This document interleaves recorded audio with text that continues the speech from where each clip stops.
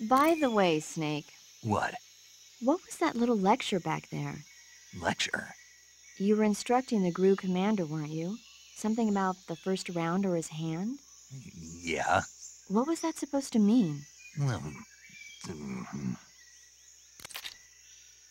Whenever he put a new clip in his gun, he'd always load the first round by hand, whether there was a round left in the chamber or not.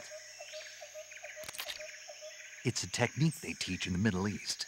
By making sure there's always a round in the chamber, you eliminate the risk of pulling the trigger with nothing to fire. He must have heard about it from someone or read it somewhere. In any case, he probably wanted to try it out for himself. And he was obviously motivated by vanity to show off his new technique. That's when you make mistakes. The battlefield is an unforgiving place. The only techniques you can rely on are the ones you've mastered through experience and practice. Uh huh. And what were you saying about him being more suited to revolvers? When he fired, he was bending his elbow sharply to avoid the recoil. It looked like he wasn't aware he was doing it, but that habit can be either a fatal flaw or a gift.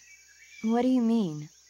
Automatic weapons use recoil to operate, so if you don't let the recoil hit you, it interferes with the operating cycle of the gun. Basically, he shouldn't be trying to avoid the impact like that. But with a revolver, there's no need to let the recoil hit you. Just the opposite. Avoiding the recoil lets you reduce the strain on your hand and arm. That kid might just be handy with a high caliber revolver. Handy? Are you listening to yourself? What do you mean? He's the enemy. Why are you giving him advice? Uh, I. Snake, I don't know.